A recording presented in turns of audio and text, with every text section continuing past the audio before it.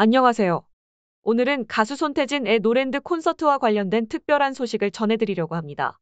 최근 성민이 손태진의 콘서트에 참석하여 손태진과 함께 찍은 사진을 SNS에 공유했습니다. 이 사진에서 두 사람의 친밀한 관계와 서로에 대한 존경심이 엿보입니다. 손태진의 콘서트는 현재 많은 이들의 관심을 받으며 화제가 되고 있고 더욱이 그의 미국 투어 소식까지 전해지며 그의 인기가 얼마나 뜨거운지 증명하고 있습니다.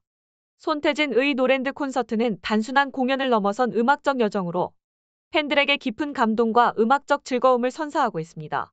특히 성민과 손태진이 함께 찍은 사진은 이들의 깊은 우정을 보여주며 팬들에게 더 큰 기쁨을 주고 있습니다. 콘서트에 참여한 팬들은 SNS를 통해 그들의 특별한 경험을 공유하고 있으며 이러한 다양한 응원과 감동적인 이야기들이 손태진의 인기를 더욱 끌어올리고 있습니다. 손태진의 노랜드 콘서트에 참석하지 못한 팬들도 걱정하지 마세요. 흥미롭고 특별한 경험이 여러분을 기다리고 있으니 꼭 한번 참여해 보시길 권장합니다. 손태진의 콘서트는 그의 음악적 업적을 넘어 팬들에게 뜻깊은 추억을 선사하는 특별한 시간입니다. 여러분도 그 행복한 순간을 함께하며 노랜드의 특별한 에너지를 느껴보시기 바랍니다. 손태진의 음악은 단순한 공연을 넘어 마치 큰 가족이 모인 것처럼 특별한 여행의 느낌을 선사하고 있습니다. 이상으로 오늘의 소식을 마치겠습니다.